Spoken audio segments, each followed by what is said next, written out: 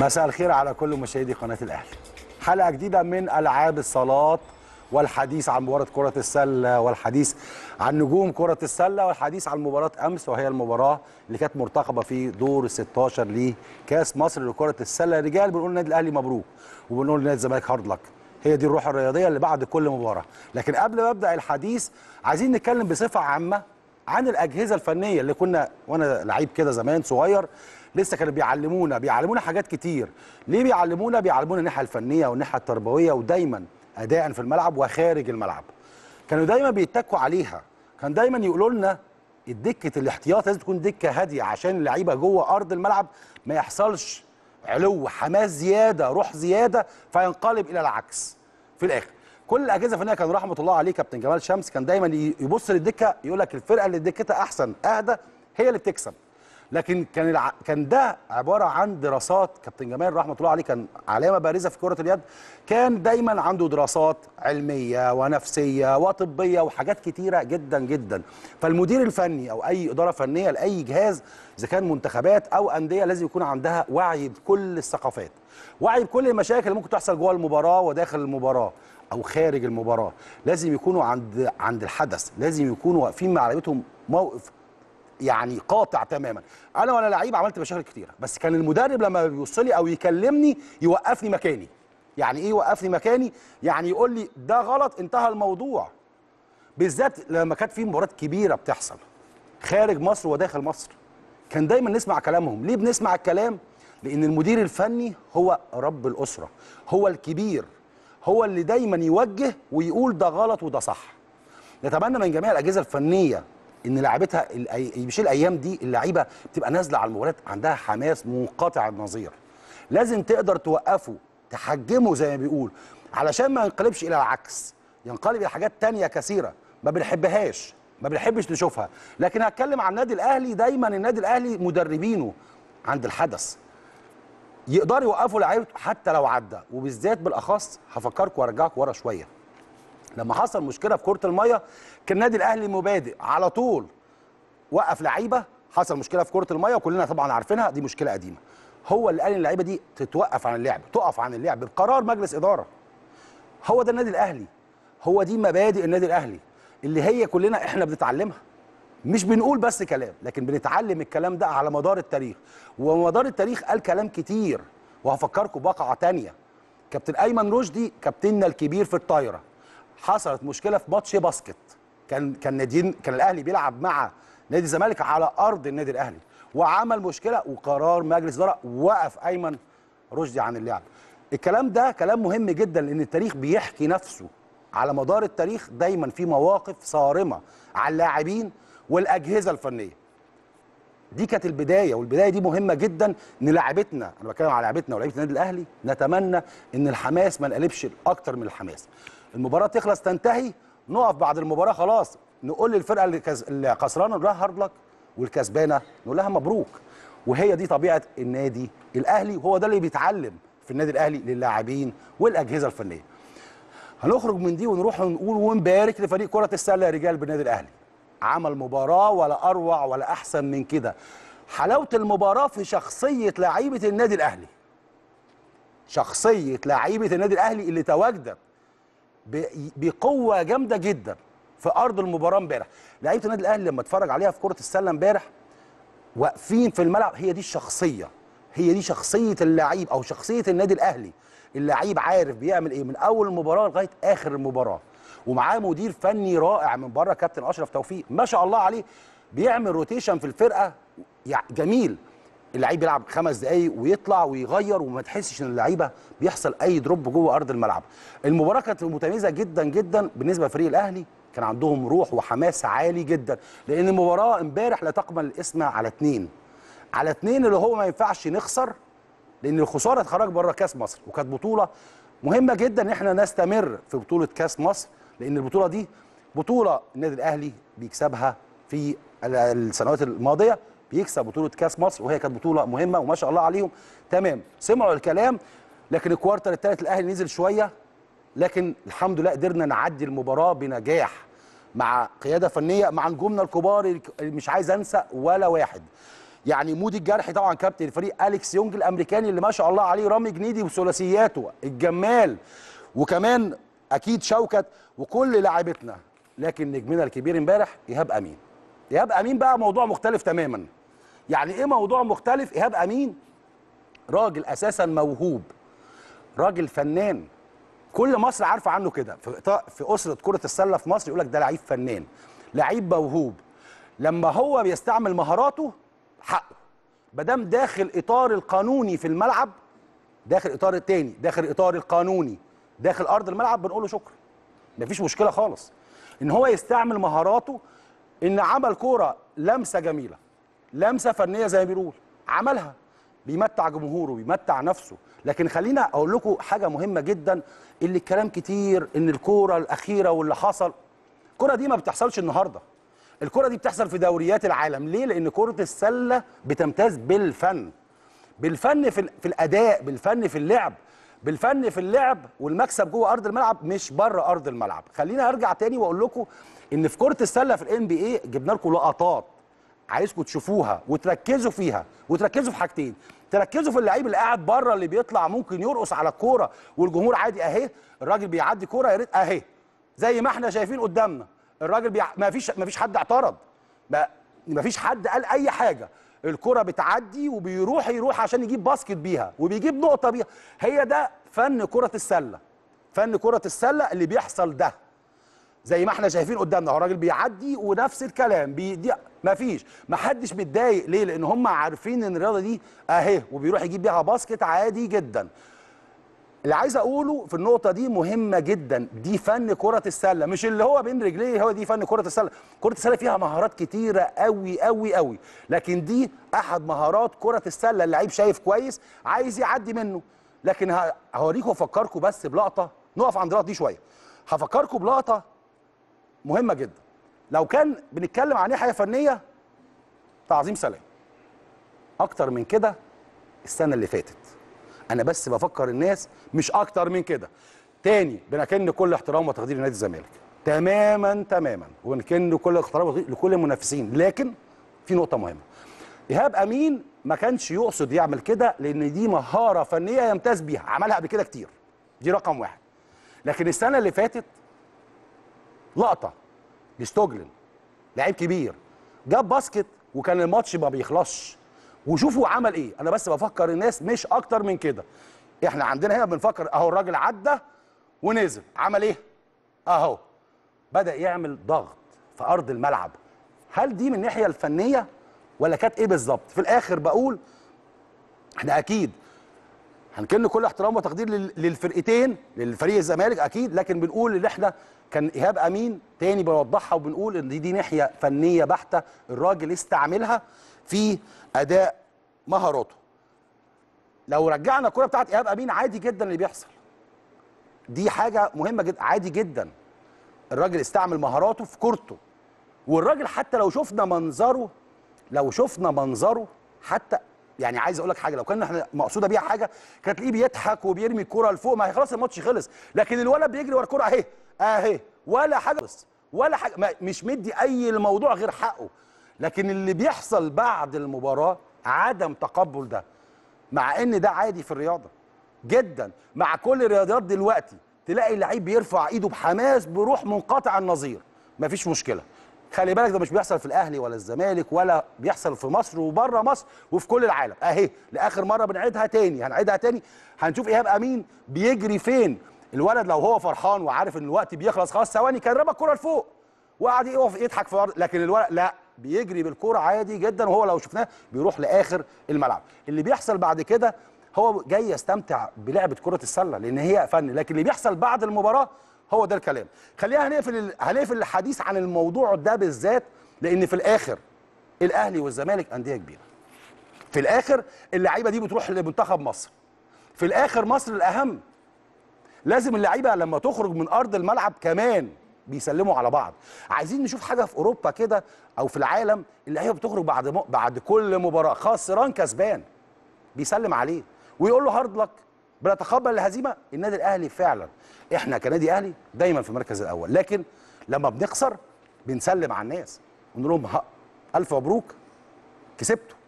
وبنشوف نفسنا وبنعدل. اللي لازم اقوله في فرقه كرة السلة والتعديل اللي حصل لازم أشكر فيه مجلس الإدارة. بصراحة لأن جابوا تيم هايل من اللاعبين فعلا. اختاروا شخصيات مهمة جدا ولاعبين مهمين جدا. والتوليفة والانسجام كابتن أشرف توفيق. لازم نديله حقه. لازم نقول إن هو تعب عشان يعمل توليفة جايب من من كل مكان واحد. اللي يعمل توليفة دي لعيبة بيشتغلوا مع بعض بالنادي الأهلي لكن عمل توليفة متجانسة جدا وقدرت اللعيبة فعلا تحفظ إيد بعض. في في امبارح تحس إن الأهلي بي يعني بيعزف في أرض الملعب. كرة السلة ورجال كرة السلة ألف مبروك. بس خلي بالكم دي أول مباراة في الدوري تعتبر أو أول مباراة في في المشوار اللي إحنا مستنيين منكم. مستنيين منكم كتير مستنيين منكم بطولات كاس ودوري ودوري مرتبط.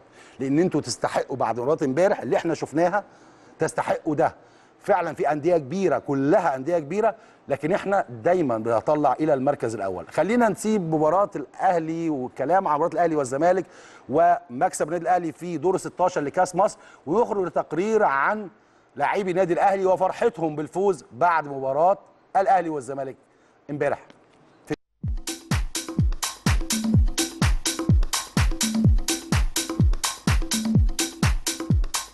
الحمد لله رب العالمين الحمد لله إن إحنا يعني قدرنا نعدي بمباراه مباراه الكؤوس بيبقى ليها طابع خاص ماتش الأهلي والزمالك بيبقى ليه طابع خاص. آه، إحنا كنا أحسن طوال فتره المباراة التوقفات الكتيرة اللي هو آه، جهاز نادي الزمالك أكبر الحكام عليها اذتنا في مرة من المرات لأن اللاعبين فقدوا تركيزهم كنا 17 بونت رجعنا رجعنا وحش قوي في الرجعة دي. آه، المباراة دي يمكن إحنا نادي الزمالك مظلومين فيها شوية لأن إحنا برضو بقى لنا 21 يوم توقف وبعدين نلعب big game like this بعد 21 يوم كتير. آه المباراة أظهرت إن أنا عندي بعض ال mistakes اللي أنا لازم أصلحها إن شاء الله إن شاء الله. إنما أنا سعيد بروح فرقة الأهلي بروح الفانيلا الحمراء بروح الولاد مع بعض بإصرارهم على المكسب لأن مش مش مش سهل إنك يبقى معاك سكور وتخسره وبعد كده ترجع له تاني. دي حاجة كويسة جدا وإحنا إن شاء الله معانا فرقة كبيرة فرقة كويسة. آه ناقصين آه اثنين لعيبة كبار قوي يعني. ناقصين عبد الفضيل وناقصين السلعاوي غير ولد اسمه عمر طارق المعداوي الصغيرين. يعني إحنا ناقصين أربعة لعيبة كويسين كويسين. يعني أربعة لعيبة ممكن يبقوا في ال 12 فبرضه دول مقصرين علينا شوية. أخص بالذكر يعني بتقل عبد الفضيل من أفضل السناتر اللي عندنا و والسلعاوي طبعا لعيب كبير. أنا النهارده كسبت يعني الروح إن اللعيبة شايفة بعض بيلعبوا مع بعض أوقات كتيرة جدا من ال game دفعوا كويس. فدي مكاسب ال game. مكاسب ال game طبعا كان السنة اللي فاتت الزمالك كان شوية lead علينا. لا لما بقول كده طبعا أنا بعتبر نفسي إن أنا في النادي الأهلي سواء ماسكه أو مش ماسكه. فكده يعني ده, مكسب كبير إن إحنا نبدأ إن نرجع تاني نكسب الزمالك ونكسب الفرق الكبيره لأن إحنا صغرنا السن ويعني الحمد لله يعني عملنا squad كويس. بشكر جدا جدا جدا الكابتن محمود الخطيب. بشكره جدا على الجهد اللي عمله مع إن هو يوقف ال basket على رجله ومجلس الإدارة كله طبعا. أه بشكرهم جدا جدا وبشكر طبعا الجهاز اللي معايا معايا جهاز محترم جدا جدا من أول سيد مصطفى منير بتاع الناشئين مرام احمد الجرحي واسلام الكيلاني وكل الجهاز بقى طب يعني الناس كلها هي اللي بتشتغل يعني مش أنا اللي بشتغل لوحدي يعني. أه بس أنا يعني الماتش وضح لي حاجات أنا عندي بعض الميستيكس اللي أنا شايفها فنية ما أقدرش أقول تفاصيلها إنما إن شاء الله هعالجها بإذن الله بإذن الله بإذن الله. يعني بروح الولاد دي نقدر نعالج أي حد. أنا راحتي في ملعب التنس يعني أنا أصحابي وكذا يعني فبقى فرصة بقى يعني بقى لي كتير ما لعبتش فعايز أخرج شوية من ال mood يعني. الحمد لله طبعا على كل شيء. ماتش طبعا الأهلي والزمالك دايما ماتش صعب في كل الرياضات. إحنا يعني الحمد لله تعبنا قوي الفترة اللي فاتت وكنا معسكرين ومتمرنين جامد ومركزين وكابتن أشرف وكابتن إسلام وكابتن أحمد الجرحي وكل الجهاز يعني مش عايز أنسى حد. تعبوا معانا والحمد لله اتعلمنا من اخطائنا اللي كنا بنعملها في أول السيزون وبانت الحمد لله في ماتش النهارده. في آخر الماتش مش فاكر كان تقريبا مشعل أو كان تقريبا مشعل دخل عليا مندفع فما عرفتش أروح أحطها فين رحت حطيتها ما بين رجله. خدتها من الناحية الثانية لقيت اللعيبة نادي الزمالك جاية بتجري عليا تضربني وبعدين حصل مشادات بعديها. طبعا طموحي يعني إن إحنا نشارك على نشارك آه، يعني ننافس على ثلاث بطولات طبعا النادي الأهلي وجماهير ما بتنتظرش أي حاجة منه غير الثلاث بطولات فإن شاء الله ننافس على الثلاث بطولات. عندنا فريق محترم وجهاز فني أكتر من محترم والإدارة مساعدانا وموفره لنا كل حاجة. فيعني الهدف إن إحنا ننافس على الثلاث بطولات إن شاء الله. الحمد لله كنا بادئين كويس جدا مركزين من من بقالنا أسبوع بنتمرن على اللعب بتاعهم بنتمرن على لعبنا مركزين آه، في فورمة كويسة الناس كلها متحفزة الناس كلها متشجعة إن إحنا نكسب فالحمد لله نزلنا بدأنا الماتش آه، اللي إحنا آه، نعلى عليهم الأول ما ندهمش فرصة ونضغط عليهم والحمد لله عملنا كده وقدرنا نطلع عليهم آه، 10 point ووصل 15 point 16 point فالحمد لله بس هي آه، التوقفات هم كانوا بياخدوها فرصة إن هم يرجعوا في الماتش تاني بس الحمد لله ما ما تأثرناش وقدرنا نعلي ال- آه، ال score كل شوية كل ما ننزل نلعب ديفنس كويس ونعلى. والله الحمد لله يعني ربنا وفقنا النهارده إحنا من شهر سبعة وإحنا بنتمرن جامد. السنة دي مع كابتن أشرف توفيق بنتمرن جامد جدا بنتمرن الصبح وبالليل وفي تركيز الحمد لله مع ال- الحمد لله الصفقات الجديدة اللي جت كلها الحمد لله متميزة وقدرت تساعد الفرقة النهارده إن إحنا الماتش يبقى الحمد لله في صالحنا. آه، الماتش طبعا مع نادي الزمالك بيبقى فيه ضغط عصبي في تنشنة في يعني كان يعني ضغط علينا كان من أكتر لأن إحنا على ملعبنا وما ينفعش نخسر على ملعبنا. الحمد لله ربنا وفقنا النهارده. الفريق كله بلا استثناء آه، كان على قلب رجل واحد إن إحنا ما نطلعش النهارده يعني مش بنفكر في, في كلمة الهزيمة دي خالص. الحمد لله كله موت نفسه كله أدى أداء رجولي والحمد لله ربنا كرمنا الحمد لله في الآخر. إلا السنة دي في الأعمار متفاوتة في كبار عندهم خبرة وفي وسط وفي صغيرين. كلهم إحنا بنلعب مع بعض كلنا بنلعب team واحد. هتلاقي ال 12 عندنا ممكن يقلبوا ال game. يعني ممكن حد ما شاركش النهارده تلاقيه ال game اللي بعديه. بيلعب آه، وقت أطول وبي بي بي هو اللي بيقلب ال game أو بي بيساعد الفرقة يبقى سبب رئيسي في المكسب. آه، السنة دي يعني فعلا إحنا 15 لعيب. آه، كوتش بيلاقي مشكلة ان يدخل ال 12 مين وإن مين ياخد وقت أطول. بي- بيبقى لأن كله بيموت نفسه في التمرين كله الحمد لله مركز جدا السنة دي إن إحنا ما نزعلش جمهورنا. السنة دي إن شاء الله يعني إحنا بن- بنعود إن إحنا هنقاتل على الثلاث بطولات. إحنا هدفنا زي ما قال كابتن أحمد الجرحي قبل قبل الماتش قال لنا هدفنا إن شاء الله بطولة أفريقيا السنة الجاية. إحنا لازم نكسب السنة دي عشان نلعب بطولة أفريقيا السنة الجاية. فده هدفنا هدفنا إن شاء الله بلا حدود بإذن الله إن إحنا نبسط الجمهور في ثلاث البطولات. وإن شاء الله السنة الجاية نخش بطولة أفريقيا إن شاء الله ونكسبها بإذن الله. الحمد لله. على المكسب. آه، مبروك لي الفرقة والجهاز الفني والجماهير. آه، يمكن إحنا كنا مركزين آه، بقالنا أكتر من أسبوعين في الماتش دارسين كويس الجيم. الحمد لله خدناه خطوة خطوة لحد الحمد لله ما ربنا كرم وانتهى الماتش بالفوز لينا الحمد لله. كل سنة بتبقى يعني ملهاش علاقة بالسنة اللي قبليها. الموسم ده إحنا داخلين إن شاء الله مركزين ثلاث بطولات آه، وان شاء الله التوفيق يبقى حليفنا السنة دي. آه، إن شاء الله كان ماتش مهم آه، دور 16 مع الزمالك فريق كبير. الحمد لله زي ما قلت لك مركزين أكتر من أسبوعين بنتمرن على على ال game. يمكن ال score طلع كويس لينا فترات كتير يمكن كل شوية الماتش بيقف بيحصل احتجاج على على على الماتش. فده بينزل rhythm نا شوية وبعد كده لما الماتش يمشي شوية نرجع تاني الحمد لله نركب ال game. آه، وفي الآخر الحمد لله يعني على المكسب. إن شاء الله هنقاتل على كل البطولات آه، السنة دي وماشيين بشكل كويس في دوري المرتبط آه، ماشيين الحمد لله بشكل كويس في الكاس. وإن شاء الله دوري السوبر إن شاء الله بعد نهاية دوري المرتبط هيبين بقى الفرق اللي داخلة ال- ال final. وإن شاء الله وعد إن إحنا هنقاتل على كل البطولات وهنكون عند حسن ظنكم إن شاء الله.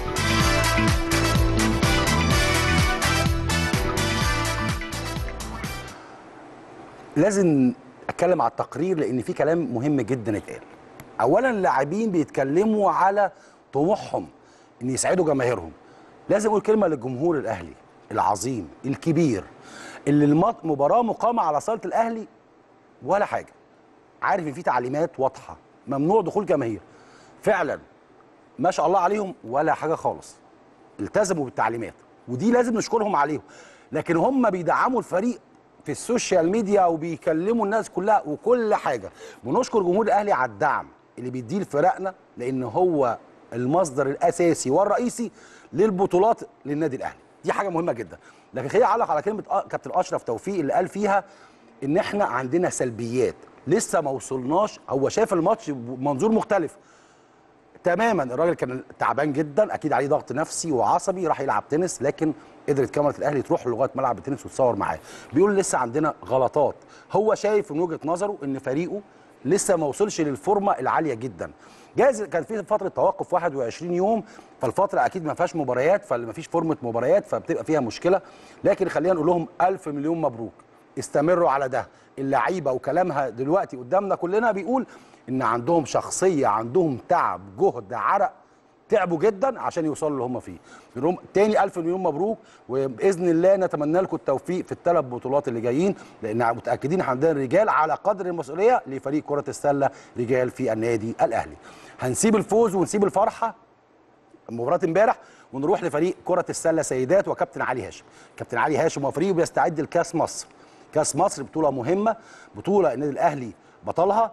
عايزين المرحلة الجاية كابتن علي شغال على ده لكن كابتن علي مستني الكسبان من مين؟ من الشمس والجزيرة. كابتن علي لما كنت بتكلم معاه بيقول لك إن الفرقتين كبار، فرقتين مهمين، دوري كرة السلة سيدات لا يقل عن دوري كرة السلة رجال. خلينا نخرج تقرير مع كابتن علي هاشم والحديث عن استعداده لكأس مصر في المرحلة اللي جاية وترجعوا لنا مرة ثانية. إحنا بقالنا يعني حوالي بقالنا واقفين بقالنا حوالي 15 يوم. آه، يوم 21 إن شاء الله عندنا ماتش مهم جدا مع مع سبورتنج في ال quarter final دوري المرتبط. بنستعد له من فترة ال game دوت. ال game ده أول مرة في تاريخ ال basketball سيدات اللي تقابل أهلي وسبورتنج في دور الثمانيه إن شاء الله.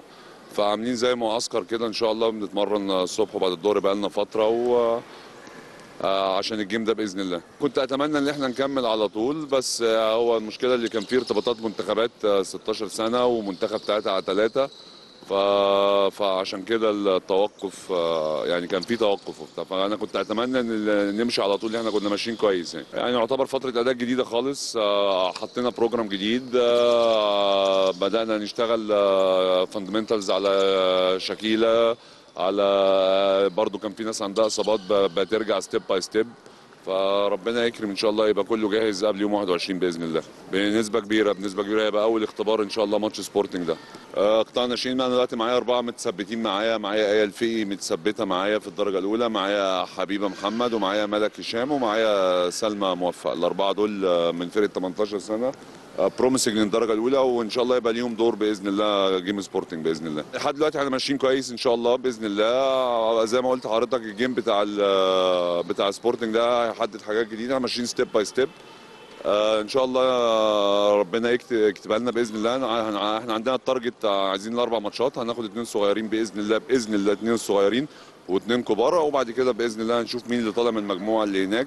أعتقد هيبقى سموحة يعني. أي حد في النادي الأهلي بيبقى بالنسبة له التحديات كبيرة وإحنا ال- كل بطولة هنخ- هنخش فيها إن شاء الله بإذن الله هنحارب اللي إحنا نكسبها بإذن الله. المنتخب إحنا لسه راجعين من تونس كان في بروتوكول آه، بين وزارة الشباب والرياضة التونسية ووزارة الشباب والرياضة المصرية. عملنا ثلاث ماتشات هناك آه، دخلنا بعض العناصر الجديدة ما كانوش معايا في أفريقيا. بنشوف بنشوف بعض العناصر الجديدة وده بيبقى في فترة إعداد لكأس العالم إن شاء الله. معايا أربع لعيبة أربع لعيبة في- من النادي الأهلي موجودين. الباب مفتوح لأي حد من سموحة من جزيرة من اليوبلس من صيد من أي حاجة. الباب مفتوح لقدام لعيبة المنتخب كلهم. إحنا بننزل نشوف دوري المرتبط وبنتابع بطولة الجمهورية لما هتبدأ إن شاء الله. وإن شاء الله نعمل حاجة كويسة بإذن الله في كأس العالم إن شاء الله. السنة دي الدوري صعب جدا. أنا بقول الكلام ده من أول الموسم إن ال- ال- السنة دي كله دعم. آه، الأجانب آه، من كل الفرق جابت أجانب والأجانب على مستوى عالي السنة دي. فأي حد يكسب أي حد السنة دي مش مضمونة يعني. الأول كان آه، بتبقى عارف الدنيا رايحة فين. أهلي سبورتنج ممكن جزيرة يخش شوية. السنة دي صعب تتكهن بأي حاجة يعني. بطولات صعبة الدوري والكاس وحتى المنطقة الجزيرة جايب أجنبية كويسة عملوا إضافات. فإحنا مستعدين لكل الكلام ده والنادي الأهلي إحنا بنتحمل آه، بنعرف نتعامل مع الكلام ده. يعني بنحب نلعب في كومبيتيشن أنا أنا عندي في النادي الأهلي مو- آه، أرباع الفرقة ممكن يجي لها أي حاجة بره. يعني سوريا ما يجي لها حاجة بره ممكن هلا يجي لها حاجة بره منار دينا عمرو نور علي طلعت. مش مش عايز أنسى حد يعني بس مؤهلين إن كلهم لعبوا أقل واحدة لعبه ثلاثة أفريقيا وكأس عالم زي ما شفنا كابتن علي هاشم وهو بيتكلم على كاس مصر والحديث عن التدريبات والفريق واجابات الفريق اللي هم إن شاء الله هيكونوا في الميعاد لأن برضو فريق كرة السلة سيدات مهم جدا إن هم يكونوا أبطال إن شاء الله بإذن الله في المرحلة اللي جاية. بإذن الله برضو منتظرين جميع البطولات منهم بإذن الله. هنسيب كرة السلة وهنروح لكرة اليد وكرة اليد محيرة الجماهير من الآخر عشان يبقى كلام واضح. فريق كرة اليد في النادي الأهلي بيستعد لمباراه بكرة. الجمهور النادي الأهلي حيران مع فرقة كرة اليد. يعني بينه وبينه عتاب. لخسارة فرق كره فريق كرة اليد في بعض البطولات في السنة اللي فاتت. لكن بقول لهم السنة دي الموضوع مختلف. كابتن يحيى يوسف في تصريح ليه بيقول لنا بيقول إن هو بيستعدوا. مباراة الأولمبي مباراة مهمة جدا بكرة في الدوري. عايزين يكسبوا كل البطولات إن شاء الله السيزون ده. وده أكيد انطباع كويس من إدارة فنية عشان ينطبق على اللاعبين. وأكيد اللاعبين بيكونوا عايزين يبذلوا أقصى جهد. لأن الجماهير منتظرة كرة اليد بالأخص دونا عن أي فريق. وأكيد الجماهير ودعمها ومساندتها لفريق كرة اليد دي حاجة مهمة جدا جدا جدا وهو ده اللي بنطلبه. وهنفضل نطلبه من جماهير الأهلي. مساندة جميع الفرق لغاية آخر مرحلة إن شاء الله في آخر السيزون عشان كلنا نتبسط بكل بطولة تخش النادي وتزيد من رصيد بطولات وتاريخ النادي الأهلي في جميع الألعاب في النادي الأهلي. خلينا نخرج تقرير مع كابتن يحيى يوسف المدرب العام والكلام والحديث عن مباراة الأولمبي. إن شاء الله بكرة وترجعوا لنا مرة ثانية طبعا إحنا بدينا الموسم آه، يوم 4 9 بداية الدوري بالنسبة لنا. لغاية دلوقتي إحنا لعبنا تسع مباريات آه، كان لعبنا سبعة الأول لغاية آه، 29 آه، آه، تسعة وبعد كده الدوري وقف لمدة شهر علشان كان في الزمالك مسافر أفريقيا والمنتخب كان عنده مباراتين مع منتخب البرتغال. الماتشات اللي إحنا بنلاقيها السبعه كسبنا ست مباريات وانهزمنا مباراة واحدة لظروف عندنا كانت بصراحة ولغاية دلوقتي موجودة هي الإصابات الإصابات هي اللي بنعاني منها بصراحة من أول موسم أو بداية الموسم إن كان عندنا إصابات لسه راجعين من قيمة أسبوع إذا كان ممدوح طه وإذا كان آه، فايز كان عندنا إصابات آه، كتير جدا على مدار ال- ال- الشهرين اللي فاتوا كان عندنا لسه عبد الرحمن آه، علي اللي هو فيصل آه، لسه راجع من الإصابة برده كان عنده كسر في تاني مباراة. آه، بالنسبة لنا آه، عنده كسر في ايديه ولسه راجع الأسبوع اللي فات. آه، حاليا عندنا آه، يوسف معرف آه، اللاعب المحترف التونسي. وبنعاني من طول الموسم إحنا بدأنا الموسم كمان بإصابات. كان آه، فايز ممدوح كان آه، محمد عصام طاهر الحارس المرمى الأساسي للمنتخب كمان. وكان عندنا إسلام حسن آه، برضو مصاب. هي دي العقبة الوحيدة أو أكتر العقبات بالنسبة لنا بتواجهنا الإصابات. آه، طبعا آه، العقبات برضو اللي بتقابلنا كمان آه، ال- ال- المنتخب آه، إحنا عندنا الحمد لله لعيبة آه، كتير في المنتخب. كانوا تسعة وآخر آخر أسبوعين دولت قبل ماتش البرتغال بقوا ستة. فالعناصر كلها مبقاش موجودة مع وجود إصابات طبعا.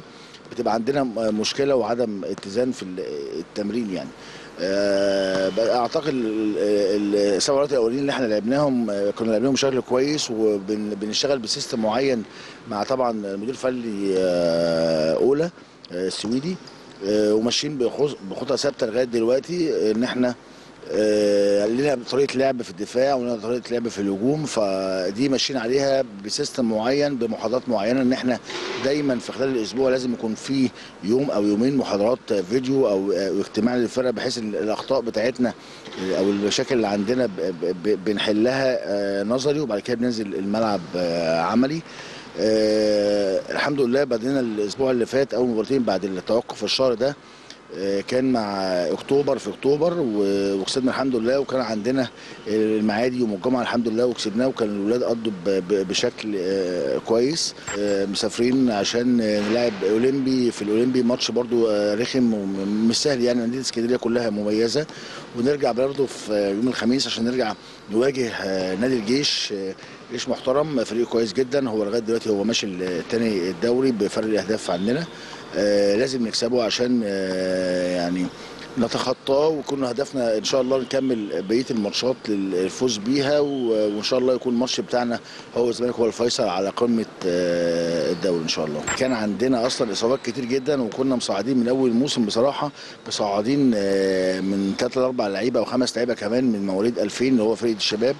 عشان كمان يكتسبوا الخبرة كمان مع إننا كمان إحنا نازلين بالسن آه، كويس جدا. آه، إحنا كان عندنا متوسط السن بتاعنا 30 سنة إحنا دلوقتي نزلنا 24 ونص ودي حاجة دي كويسة محتاجة بشغل ومحتاجة وقت شوية بس بي- بيندمجوا مع مع آه، التمرين وال- وال- وال- والنظام اللي إحنا عملناه. طبعا ان اختار تاخد حد من الشباب دي حاجة كويسة لينا ان إحنا عايزين نرجع آه، الأيام بتاعتنا بتاع زمان ان إحنا مش عايزين نحتاج لحد أو نشتري حد من بره لازم نكون إحنا مهتمين بقطاع الناشئين والشباب عندنا عشان نقدر آه، نشتغل بيهم ويطلعوا يصعدوا وده ده اللي إحنا شغالين عليه بقالنا بصراحة آه، سنة ان إحنا عايزين نفرغ من من لعيبة النادي الأهلي وأولاد النادي الأهلي للفريق الأول.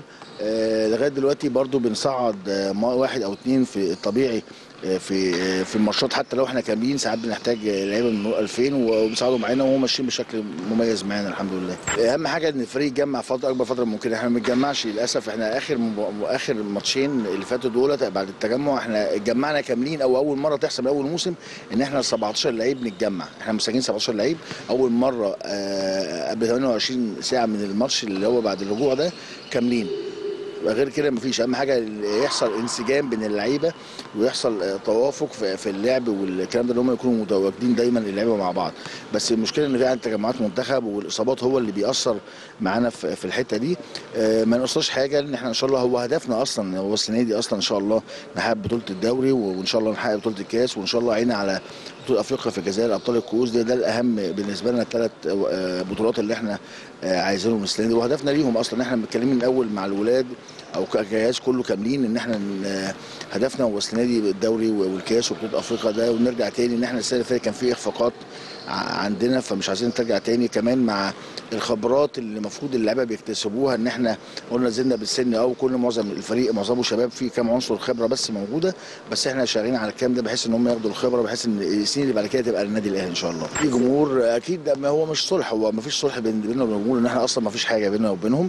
هم الجمهور ده هو أصلا هو طبيعي في ظهرنا وكان ظهرنا مش السنة دي بس والسنة اللي فاتت واللي قبلها دول عمر جمهور النادي الاهلي محترم وعارف فرقته. اللي أنا عايزه بس اللي هم دعم الفريق إحنا إحنا غيرنا جلد جزء كبير جدا من من الفريق وجبنا آه شباب وبنصعد ناس وحد كله لازم يكون الدعم منكم.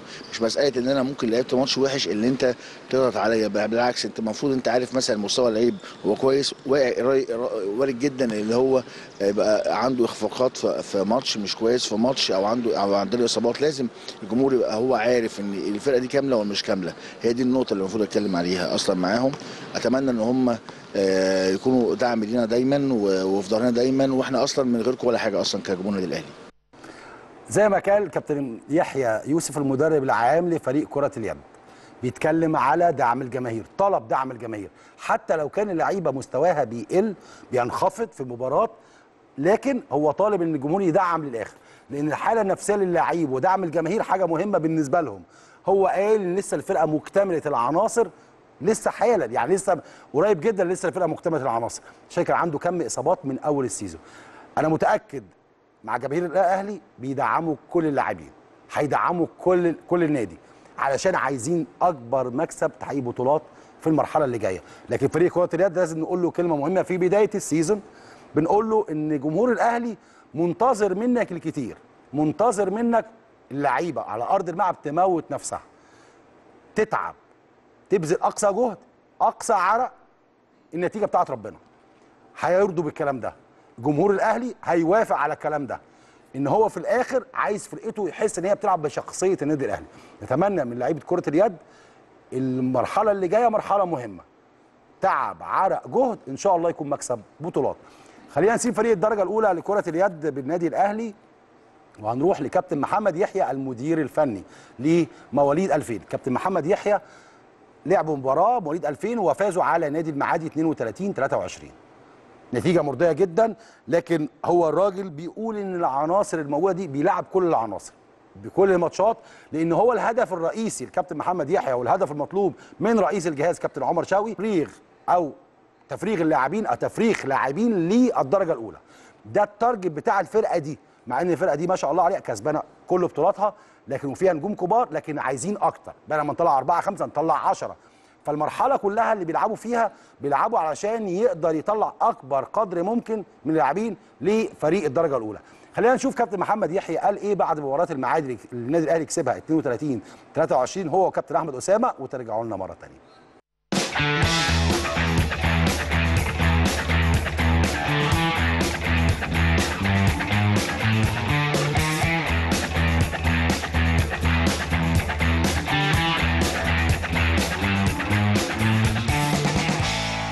فرقة المعادي فرقه المحترمة طبعا وبنحترمها جدا. بس أنا كنت بوزع آه، المجهود والحمل على كل الفرقة. لو حضرتك بصيت هتلاقي كل الفرقة كل اللعيبة لعبت بشكل متساوي وده أنا كنت قصده عشان كل اللعيبة تبقى مشاركة. حتى اللعيبة اللي ما بتشاركش في في توقيتات كتير في المباريات آه، بحاول أديها الثقة دايما. آه، بحاول دايما يبقى هدفي السنة دي أو تارجتي بعد ما حصلنا على دوري وكأس إن شاء الله طبعا متعودين النادي الأهلي إن نكسب إن شاء الله يبقى دوري وكاس. بس الهدف الأكبر إن أنا أقدم لعيبة للدرجة الأولى تفيد في الدرجة الأولى. هو بالفعل في حوالي أربع خمس لعيبة بيشاركوا من دلوقتي مع الدرجة الأولى حتى لو في التمرينات أو المباريات الودية أو يبقوا موجودين. بس حتى موجودين معاهم في المباريات الرسمية دي خبرات ليها بيتعلموا منها خبرات بتتنقل لهم من اللعيبة الكبار اللي موجودين في النادي الأهلي ولاعيبه المنتخبات. فبتبقى استفادة ليهم. فأنا بصراحة يعني حاطط تارجت كده آه، السنة دي. ده أهم حاجة بالنسبة لي. والحمد لله في الدوري ماشيين كويس لغاية دلوقتي. إحنا ماشيين تاني آه بس عشان اتعادلنا ماتش مع الطيران الأولاني. آه لكن آه لسه قدامنا إحنا لعبنا النهارده تاسع ماتش. لسه عندنا تسع مباريات. إن شاء الله ننهي الدور الأولاني أول بإذن الله ونخش على المرحلة اللي بعديها وإن شاء الله نقدر نحقق الدوري والكأس السنة دي برضو بإذن الله. هو طبعا كابتن عمر شوقي بصراحة مع الفرقة كلها. مش هقول لحضرتك برضو في الدرجة الأولى والمرتبط 2000 ومرتبط 2002 بس. أنا بشوفه حتى في قطاع الناشئين طبعا موجود كابتن تامر آه، أو دكتور تامر مدير قطاع الناشئين. كابتن عمر برضو ما بيسيبوش. في ظهره بيروح لكل المباريات.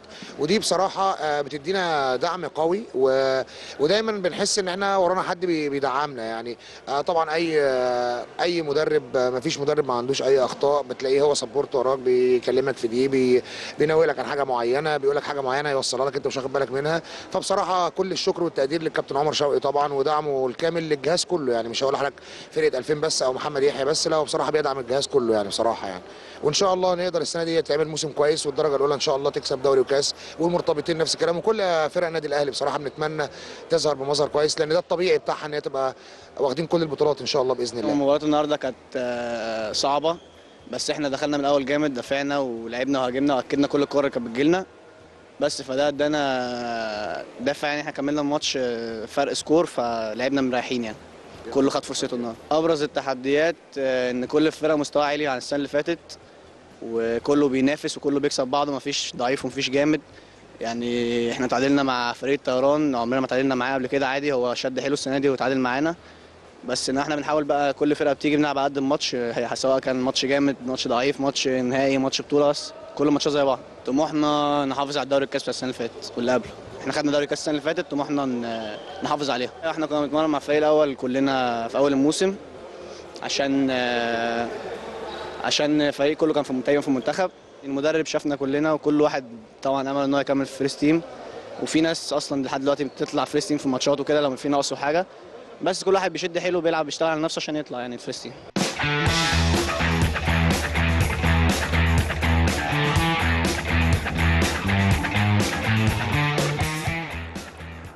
كابتن محمد يحيى بيتكلم كلام جميل جدا إن الأساسي عنده تفريغ اللاعبين للدرجة الأولى.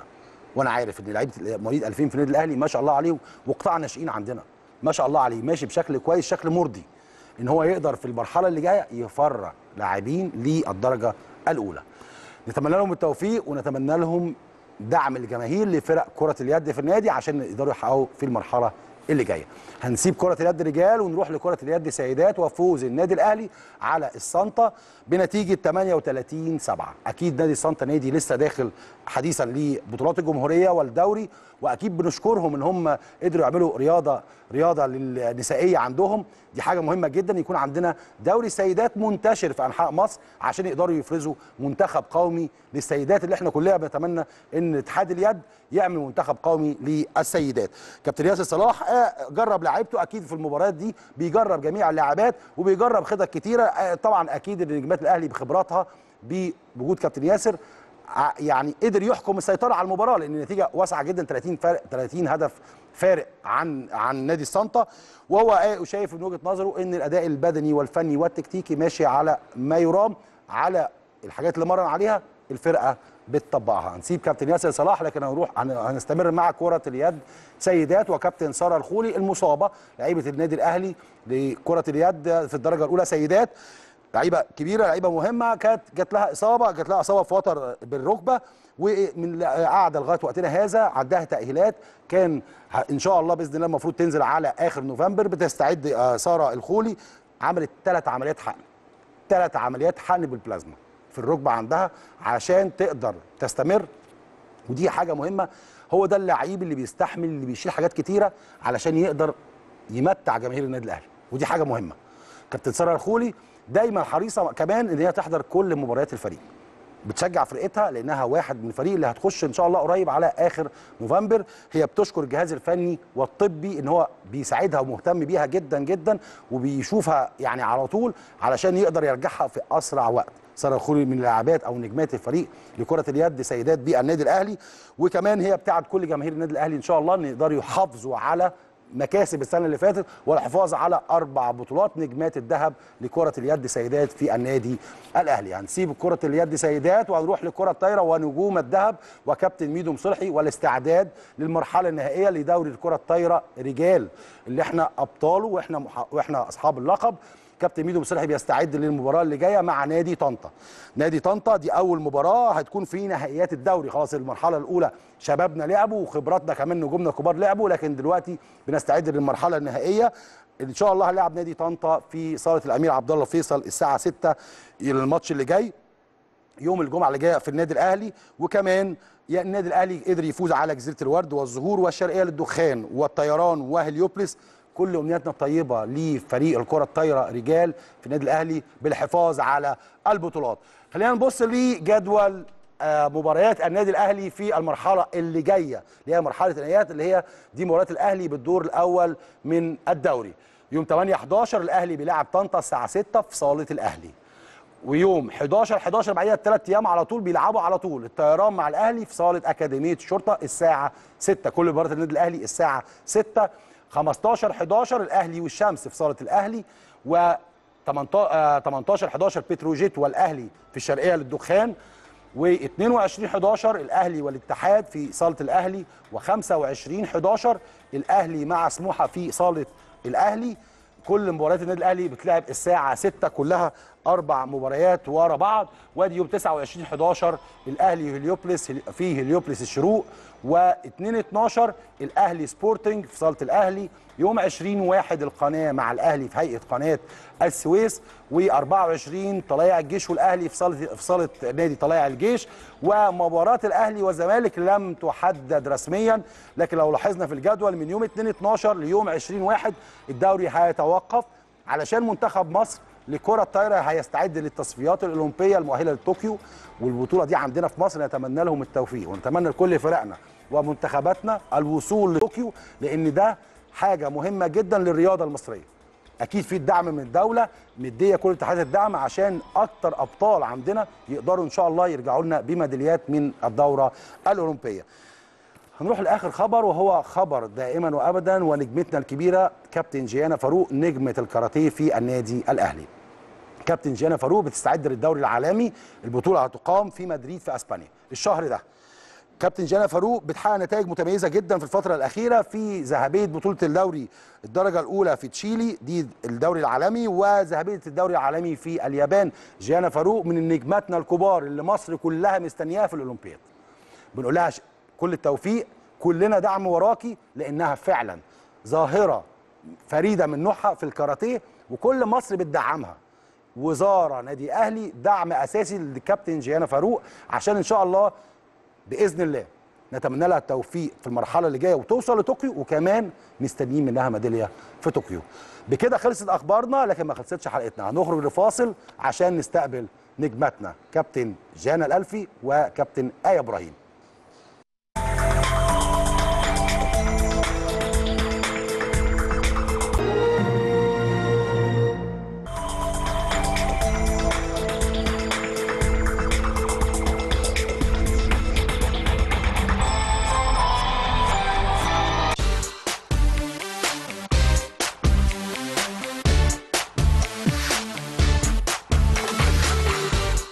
مسؤول قطاع كرة السلة سيدات بالنادي الأهلي في التعاقد مع آية الفئي لاعبة منتخب مصر للآنسات ونجمة نادي الغابة لتدعيم صفوف الفريق خلال الفترة المقبلة.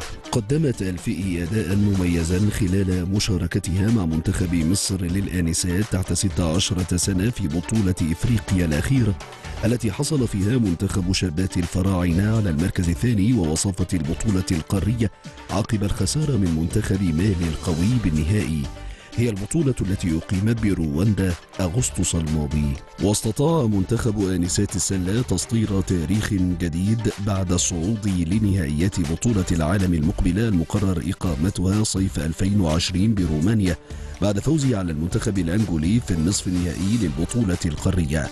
كان لآية الفئي دور مميز في هذا اللقاء لا سيما بعدما استطاعت تسجيل 17 نقطة بمفردها ويأمل الجهاز الفني للفريق الأول لسيدات كرة السلة بالنادي الأهلي بقيادة علي هاشم أن يكون لآية الفئي دور مميز مع الفريق خلال المرحلة المقبلة. وبالحديث عن قطاع الناشئات داخل القلعة الحمراء فنجد موهبة أخرى وهي جنى الألفي نجلة كابتن إيهاب الألفي أحد أهم لاعبي ومدرب الأهلي خلال الفترة الماضية.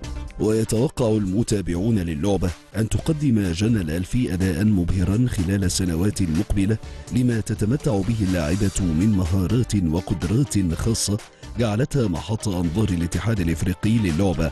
قبل أن يتم اختيارها ضمن برنامج المواهب التابع للاتحاد الإفريقي وشاركت في معسكر MPA جونيور الذي يقيم في السنغال لمدة أسبوع.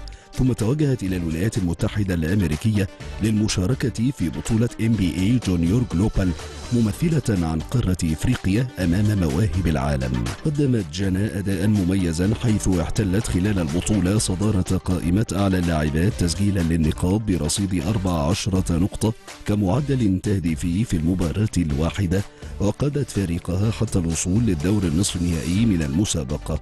لدى جنى الكثير من الآمال والطموحات حتى تحققها خلال الفترة المقبلة ليرسل قطاع الناشئات بالنادي الأهلي رسالة لجماهيره ومحبيه.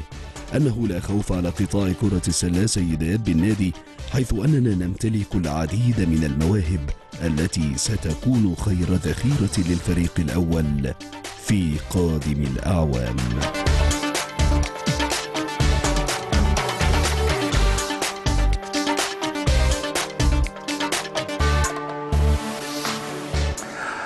زي ما شفنا في التقرير نجومنا وازاي نقدر عندنا نجمات برضو كبار طالعين من الناشئات وطالعين للدرجة الأولى بقوة صاعدين بقوة. وكمان الاثنين نجمات النهارده نجمات من طراز مختلف شوية كمان بيلعبوا في Junior NBA أو junior academy. آه دي حاجة مهمة جدا جدا جدا. في ال NBA بتعملها. وجود ال NBA في مصر أو وجود ال NBA في أفريقيا دي حاجة مهمة عشان نجماتنا ونجومنا يقدروا يروحوا للعالمية سريعا. خلينا نرحب بنجماتنا النهارده كابتن جنى الالفي كابتن جنى مساء الخير. مساء النور. منورانا. ربنا يخليك. ومعانا المنضم حديثا للنادي الأهلي كابتن آية ألفي. مساء الخير يا كابتن آية. هبدأ معاكي وأقول لك النهارده ده أول لقاء وأكيد كل جمهور النادي الأهلي عايز يعرف تفاصيل انضمامك إلى النادي الأهلي. هو شرف كبير ليا جدا إني انضم لنادي كبير زي ده. وده كان حلمي إن أنا انضم له عشان نادي كبير وليه قوام جامد قوي وقوي. فدي هي دي كانت حاجة دي كان step مهمه قوي في ال... في ال basket بالنسبة لي إن أنا أبقى انضم للأهلي. انضميتي للأهلي. أنت اللي طلبتي ولا الأهلي اللي طلبك؟ آه لا جالي جالي عرض من الأهلي. جالك عرض من الأهلي.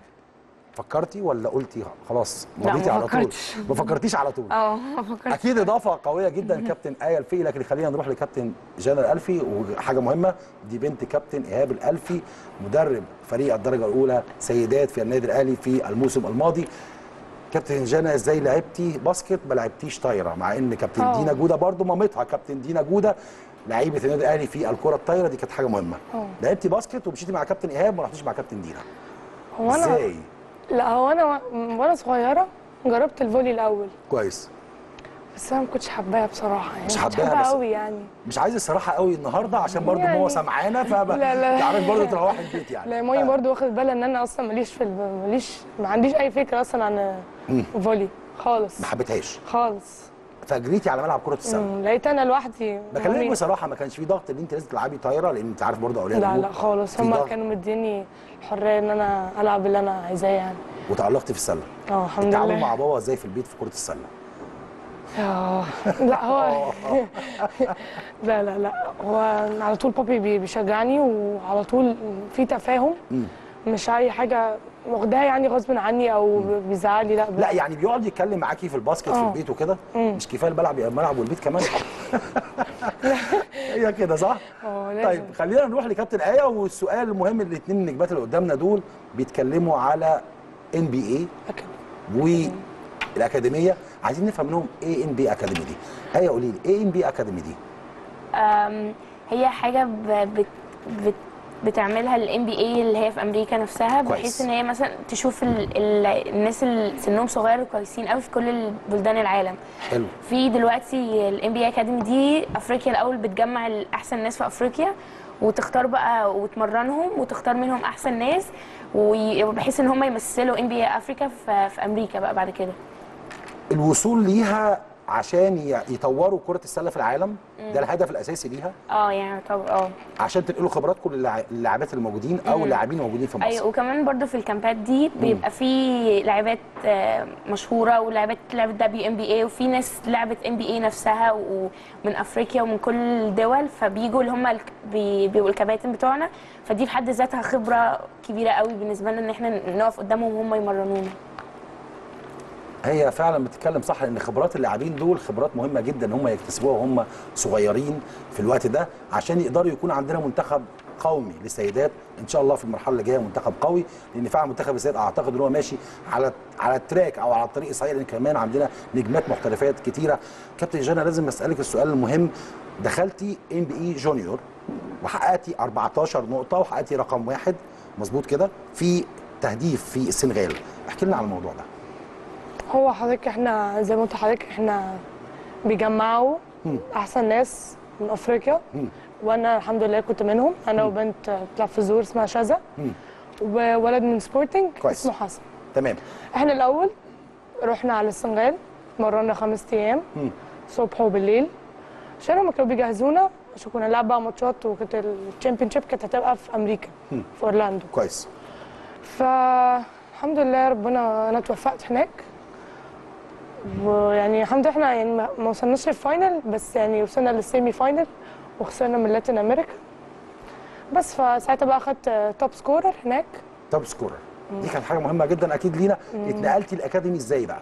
هم هم أصلا كانوا مختاريني من ال Junior NBA امم اختاروكي منها. اختاروني من هناك. إيه اختاروكي منين يا إيه؟ اختاروكي من من اللعب في مصر ولا من إيه بالظبط؟ لا آه، اختاروني من منتخب مصر بتاع 16 بطوله اللي فاتت كانت في رواندا. شهر 8 الصور الجميلة اللي أنتوا صورتوها. صح؟ أنا فاكر الصور دي كويس قوي هم بيشوفوا الفيديوهات وهم بيبقى في أصلا already يعتبر ناس مترشحة. وبعد كده هم بقى يشوفوا الفيديوهات عشان يختاروا من الناس المترشحة اللي تستحق إن هي تروح. فأنا الحمد لله اختاروني منها. بابا عمل مفاجأة في السنغال ليكي؟ آه. إيه اللي حصل؟ احكي لنا. آه وأنا وأنا راجعة خلاص إحنا خلصنا البطولة وكان ميعادنا إن إحنا نسافر. مم.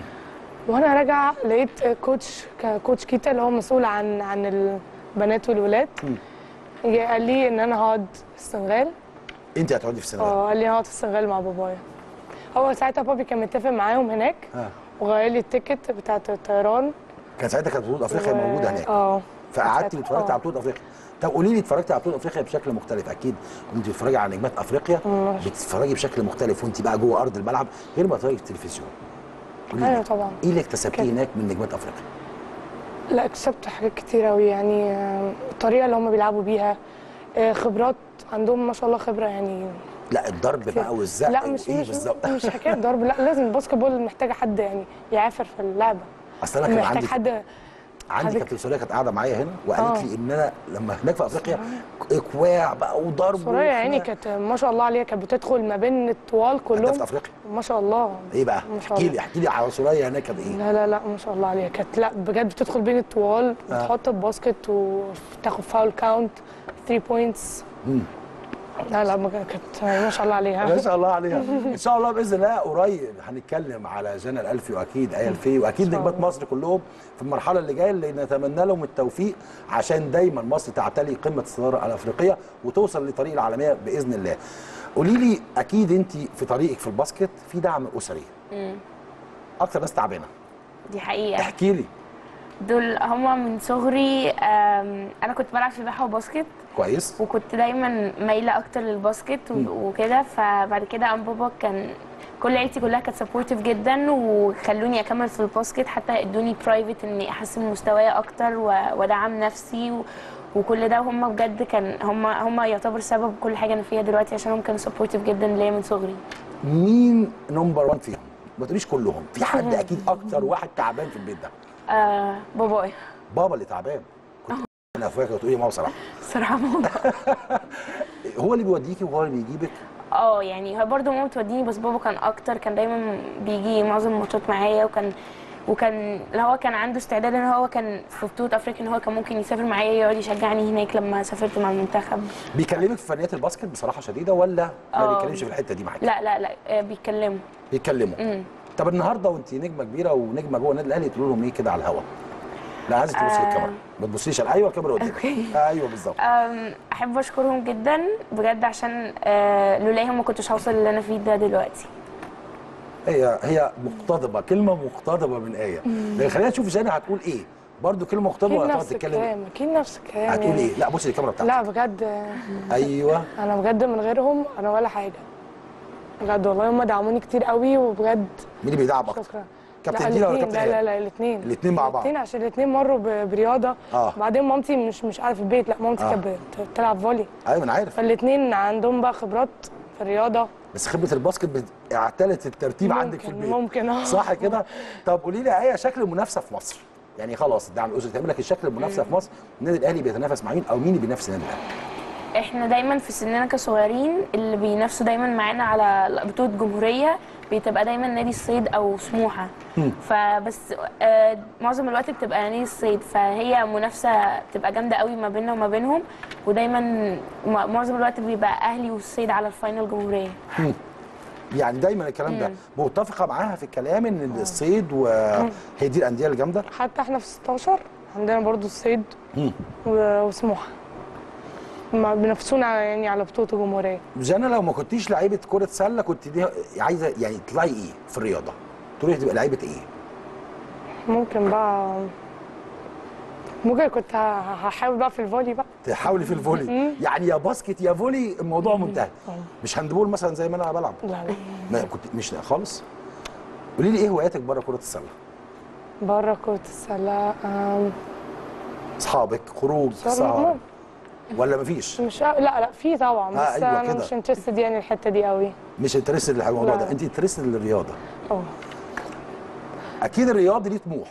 والطموح هو الأهم حاجة عند الرياضي لأن الرياضي اللي ما عندوش طموح يبقى ما عندوش حياة رياضية. فأكيد النجمات اللي قدامنا عندهم طموح مختلف. أكيد عايزين نعرف طموحهم إيه. آية طموحك إيه مع كرة السلة؟ إن شاء الله أكمل في المنتخب اللي طالع كأس عالم. وفي منتخب لسني تحت 18 إن شاء الله أدخله برضو بإذن الله. ويعني دايما معظم كل لعيبة الباسكت إن هم بيتمنوا إن هم يجي لهم scholarship في أمريكا. بحيث إن هم يلعبوا في دوري جامعات أمريكا. ودي تعتبر دي حاجة كويسة جدا إن أنت توصل لها. فكلنا بنهدف وعندنا طموح إن إحنا يجي لنا scholarship من أمريكا. ليه أمريكا وليه مش أوروبا؟ أم، بحيث ممكن بحس إن إحنا أوروبا قريبة يعني. يعني 3 4 ساعات. هو آه بس أمريكا ب- 12 ساعة. آه بس بحس أو هتكلم عن نفسي بحس إن أمريكا بالنسبة لهم هو الباسكت رقم واحد وهم جامدين فيه جدا. فاللي هو أكنهم حاجة لعبة بيقدسوها فاللي هو اللي هو هناك هتبقى جامدة قوي ان أيوة ان ألعب في. دوري زي ده. ده طموحك في الحياة. آه يعني. بتتفرجي على NBA أمريكا؟ آه طبعا. النجم المفضل الكبير عندك مين؟ ليبرون جيمس. إشمعنى؟ ايامي كان مايكل جوردن. اتفرجت على مايكل جوردن؟ آه طبعا. إيه بقى رأيك؟ إيه الفرق؟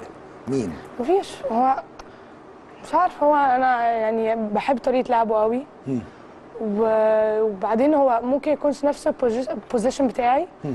بس هو هو ده ال star بتاعك. آه هو فعلا ال star بتاعي. هو متابعة الدوري ده ولا بتتفرجي عليه على فترات متقطعة؟ لا هو يعني ما عادش حاجة إن أنا على طول يعني مم. بتفرج عليه ومتابعاه بس لا متابعاه بس مش اللي هو على طول كل يوم يعني. مش على طول يعني أمريكا الحلم وكمان أكيد جانا الالفي عندها حلم. بتحلم بيه مع بعض عقود الاحتراف اللي جات لها قبل كده وهي لسه سنه 16 سنة. الناس طلبوكي أعتقد صح كده؟ آه. طموحها فين؟ أول حاجة إن شاء الله إن أنا يعني أكمل في النادي الأهلي وآخد بطولات يعني كتير إن شاء الله مع النادي الأهلي. وإن أنا أدخل منتخب مصر. إن شاء الله.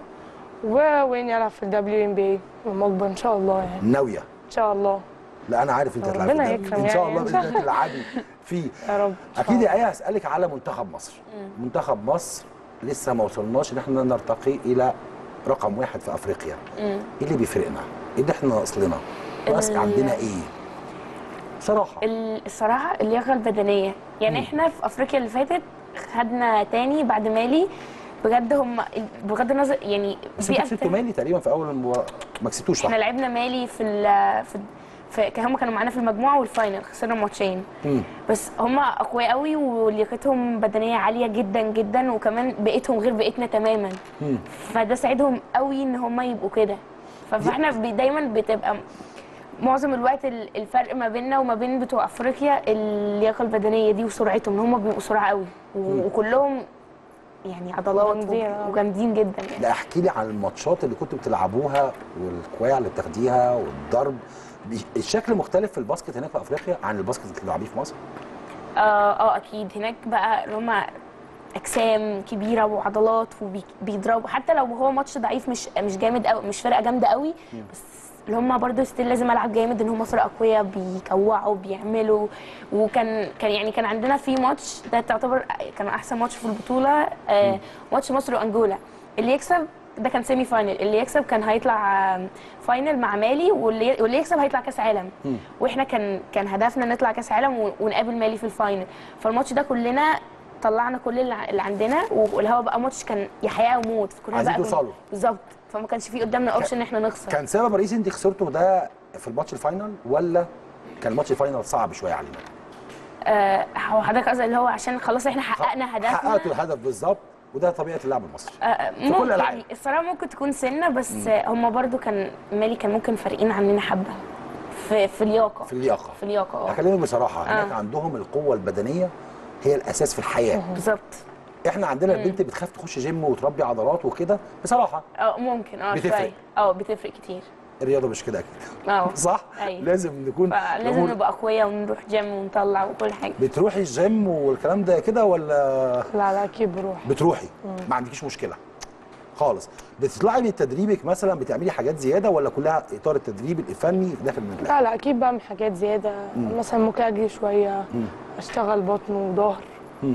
في البيت. كده آه. بتعملي حاجات زيادة في الرياضة؟ بتلعبي رياضة كل يوم وبتذاكري. مم. صح؟ إزاي بتوفقي؟ أكيد دي حاجة مهمة جدا لنجماتنا. الصغيرين اللي متواجدين بيتفرجوا على كابتن جانا أكيد عايزين يعرفوا إزاي بتوفق. عشان لما يكبروا يبتدي يسلكوا ذلك النهج. بتوفقي إزاي بين دراستك وبين اللعب؟ آه، والله أنا يعني على طول مثلا قبل التمرين. لازم أذاكر. ممكن لو أنا قاعدة شوية بعد التمرين إخواتي عندهم تمرين كده بيبقى معايا مذاكرتي أذاكر. أول ما بروح لازم أذاكر وبعدها أنام اصحى الصبح عشان عندي مدرسة. يعني انت عايزة تقنعيني إن انت قاعدة؟ يعني هي بس ده كلام هي قاعدة بتذاكر في النادي وسايبة الباسكت. عايزة لا لا لا أنا قصدي بعد التمرين. أيوه بعد التدريب. يعني أيوة. خلاص تدريب. أيوة. وتشوفي ملعب السلة وتقعدي سايبة وتقعدي بالكتاب وت- وتسيبي كرة السلة؟ مضطره أعمل كده. إعدادية صح؟ بقى، إعدادية. متأكدة؟ أيوه. جايز آية نفس الكلام ولا في اختلاف عن عن جانا بتنظمي وقتك إزاي؟ أم، صراحة بسيبها على ربنا يعني. معظم دي أهم. حاجة. إحنا لازم نسيبها آه، على ربنا. دي أهم طب ما إحنا كلنا سايبينها على ربنا. دي اهم إحنا أكيد حاجة بنسيبها على ربنا كلنا. بس أكيد لازم نذاكر ولا إيه آه. رأيك؟ بس آه، أنا كايم اللي هو ما بعرفش أذاكر في دوشة أو في النادي فلازم اللي هو أذاكر في هدوء في البيت. مم. فبحاول بحيث إن مثلا بعد التمرين أروح أذاكر قبل ما أنزل إني أذاكر لكن ما أعرفش ممكن ما أعرفش أذاكر بره البيت في دوشة أو في النادي أو أو إني في صالة بتفرج على التمرين وإني أقعد أذاكر. لازم أبقى في حتة هادية عشان أعرف أركز. نذاكر في الصالة تمام ما فيش مذاكرة. ما انت ما أنت قلتي ما بتذاكري في الصاله لا مش في الصالة. في أكيد أماكن في بذاكر فيها صح؟ أيوه. أنا بقول لك ده كلام واضح. جنى الالفي لعيبة كرة سلة محترفة دكتورة مهندسة محاسبة. يا رب يا رب. لا يا رب إيه بس؟ أنا عايز أعرف. بسألك السؤال. يا رب تروحي فين في الاثنين لا إن شاء الله كم في اتنين. في الاثنين آه. طب نطلع نخلينا في الاحتراف. okay. لعيب بصي تختاري واحدة من الاثنين. لعيبة كرة سلة محترفة ولا الدراسة والهندسة ودكتورة؟ أيا كان عايزة. تطلعي. لا هو أنا بصراحة عايزة أفضل يعني أكمل في الباسكت. ويبقى برضو مهندسه يعني. رقم. واحد الرياضة هي الأهم عندك. ممكن شوية. ده طموح رياضي. أكيد ده طموح رياضي في الوقت ده الرياضة اختلفت وبالذات الرياضة النسائية في مصر. عندنا بناتنا فعلا الموضوع اختلف بالنسبة لهم جدا. الرياضة هي أهم حاجة في الحياة عندهم. دايما بسأل السؤال ده عشان أعرف رد الفعل. أغلب ردود الأفعال اللي بتقول لنا عايز اكون لعيبة محترفة. مش. عايز أطلع في بتعلم كويس لكن في نفس الوقت أبقى لعيبة محترفة. إيه أخبار ال social media إيه؟ والاهتمام. ال social media أيامنا ما كانش في social media. آه لكن أيام كنتوا ال social media إيه؟ يعني كل حاجة. بتهتمي بكده وبتقري الناس بتكتب عليكي إيه ولا الموضوع بالنسبة لك ممكن آه بس مش معظم الوقت. حتى مثلا ممكن في ناس تقول كلام مش مش أكيد. يعني كلام مش صح. في ناس بتقول الاراء فاللي هو أنا أنا ماشي هتقبل الآراء بس مش لازم أخدها رقم واحد بالنسبة لي إن هم. طالما أنتوا قلتوا كده يبقى دي الحقيقة بس لأ أنا ممكن أقراها بس عادي تبقى عندي فكرة عنها بس ما أهتمش بيها خالص. يعني أهتم بس مش لدرجة إن هي تبقى رقم واحد بحيث إن لو عملت كده لأ ده هيتقال عليا كذا لأ أنا لازم أركز فانا بقى شايفة إيه الصح اللي بعمله ومستواي هيتحسن بيه ولا لأ. يعني أنت بالنسبة لك تقري كويس. الإيجابية تشوفيها إيجابية والسلبية. تشوفيها سلبية؟ وتطوري من نفسك بالظبط. لكن لا تتأثري بالمكتوب. بالظبط كده. جانا ها تتأثري ولا لا تتأثري؟ لا أكيد مش هتأثر طبعا. برضه. كل واحد وليه رأيه. ممكن مثلا ناس تبقى شايفة إن ده صح أو مثلا حد يتكلم عليا كويس. في ناس مثلا ليها رأي تاني. عادي هو كل واحد وجهة نظره يعني هو هو في حد شايف ممكن ممكن ما يكونش اتنين شايفين زي بعض مم. أكيد في سلبي وفي إيجابي هل حسيتي في مرة إن ال social media بتقسو عليكي في وقت من الأوقات ولا دايما ماشيين في ناحية إيجابية معاكي لا ما ما بصراحة مش مش مش بشغل بالي قوي مم. أو مثلا لو لو شفت حاجة مم. ماشي أوكي ده رأيه لو شفت حاجة. تانية بالظبط تديكي دافع لقدام. قولي لي يا جانا أكيد بمراحل السنين اللي أنت مريتي بيها أكيد عندك مدربينك واكيد النهارده وانت كده على الهوا عايز تقول لهم كلمه لمدربينك اللي مرنوك على مدار على مدار الوقت القصير ده في كرة السلة. تقول لهم إيه؟ أقول لهم يعني شكرا قوي هم بجد تعبوا معايا قوي كل مدربيني. آه، مرنوني كويس وكانوا عايزيني أبقى أحسن. مم. أكيد. فأحب أشكرهم قوي. بجد. مش عايزة أنسى حد يعني بصراحة. يعني من كلهم. كلهم ولا بصراحة. حافظاهم نقول أسمائهم. اللي أنت عايزاه مش ع- مش عايزة أنسى حد. مش عايز يعني تنسي مش حد. عايزه أنسى حد. في حد مؤثر عندك قوي في حياتك كمدرب بصراحة؟ بصراحة هو بابايا. بابا. مم. يعني عشان يبقى كلام واضح. بصراحة آه يعني هو اللي أثر فيكي قوي في الموضوع. قوي. هو الوحيد يعني اللي يعني كان مهتم قوي بيا وطبعا بتنزلوا الملعب مع بعض؟ كتير. مم. وهو ممكن مش كتير قوي. بس لا هو على الأقل يعني لما انزلش ملعب معاه بيديني حاجات أعملها أنا لوحدي عشان هو ال season اللي فات زي ما حضرتك قلت يعني زي ما قلت يعني زي ما حضرتك قلت يعني. إن هو كان مدرب. هو مدير فني المدير. ف- آه كان مدير فني فعلا لل ما شاء الله عليه بطولات وإنجازات دي حاجة الحمد لله يعني. الحمد لله. بس دلوقتي هو بقى مش موجود. مفيش مشكلة خالص بس هو موجود في البيت وموجود معاكي لا على طول. هو في وانت- السعودية بقى آه في سافر. خلاص. آه خلاص سافر. سافر. ف- ربنا يوفقه يا رب. أتمنى التوفيق لكابتن إيهاب الألف لأن فعلا نجم من نجومنا. واكيد السنة اللي فاتت كانت سنه ناجحه بالنسبة له ونتمنى له التوفيق في كل حتة لأن هي دي ولاد النادي الاهلي. إذا كان جوه النادي أو بره النادي كلنا بنتمنى التوفيق للموجودين دلوقتي وكمان ولادنا اللي بيتركوا النادي وبيسافروا للخارج أكيد بنتمنى لهم التوفيق. أكيد كلمة نهائية لمدربينك. أحب أشكرهم كلهم. برضو مش عايزة أنسى حد زيها بس بجد إن هم تعبوا معايا جدا جدا. وبلولاهم وبلولا دعم أسرتي ما كنتش هوصل اللي أنا فيه ده دلوقتي خالص. فبجد شكرا قوي.